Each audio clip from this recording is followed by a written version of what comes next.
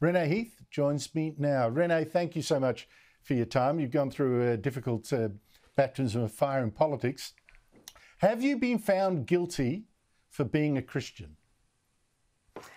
Hello, and first of all, thank you so much for having me on today. And yes, it's been a, a, big couple of days. So it is absolutely obvious, I think, that the attack from 60 Minutes and from The Age is a blatant attack on people of faith and anybody who does not agree with their views. And quite frankly, I've been astounded at what has taken place over the last few days. I am not an extremist, I'm a mainstream Christian. And it's exactly right what you just said. Apparently, this investigation went on for about two months, I've heard, maybe even longer.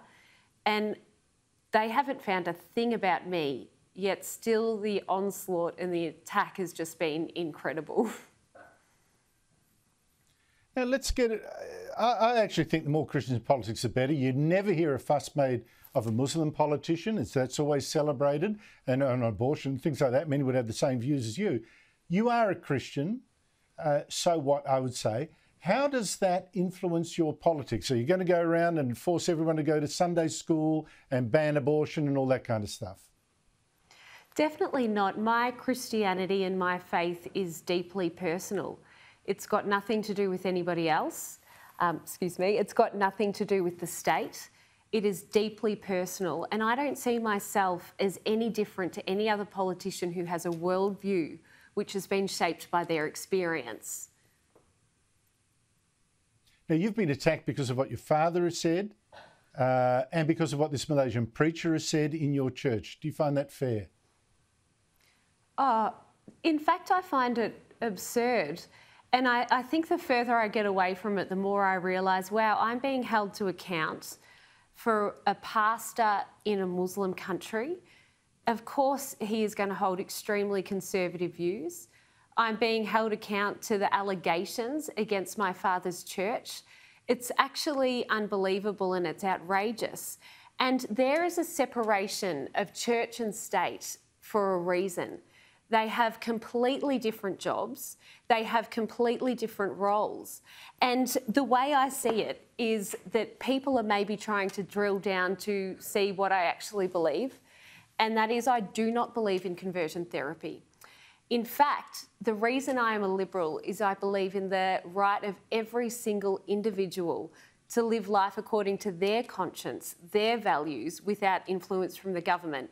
And it's interesting what you're saying because that is regardless of sexuality, age, gender, but also faith and religion. Now, I'm not going to get into why your sister is saying this about your family and why now, why she's picked exactly now and all that. That, like I say, families are tricky. I'm not even getting involved.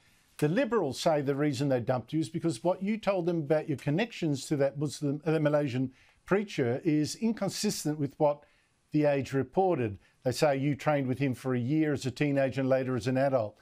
Uh, uh, fair enough, and is that something to apologise for? Um, look, to be honest, I haven't even seen that. It's been a, it's been a very busy few days.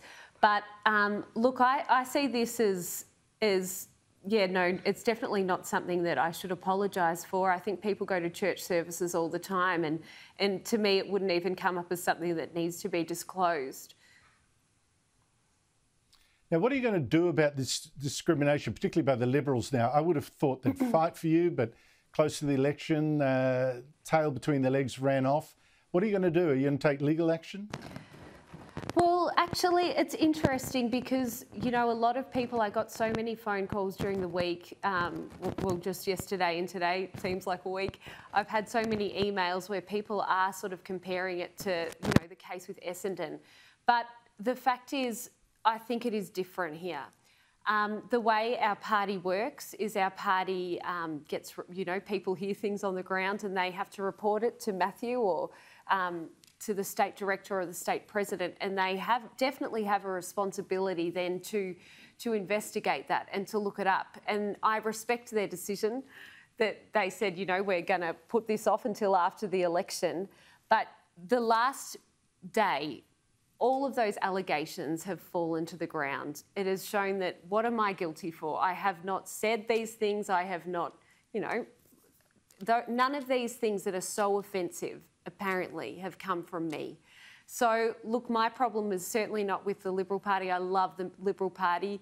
My fight isn't with Matthew Guy. I'm disgusted with 60 Minutes and The Age because they they are the ones through their reporting, through their bias, have done this. So I think I do want people to know that my fight isn't with Matthew Guy. No, I'm, I'm fighting with Matthew Guy because we've got to get rid of this Andrews government. Well, I, it's an astonishing story to me. Renee Heath, thank you so much for your time. Keep strong. Really appreciate it.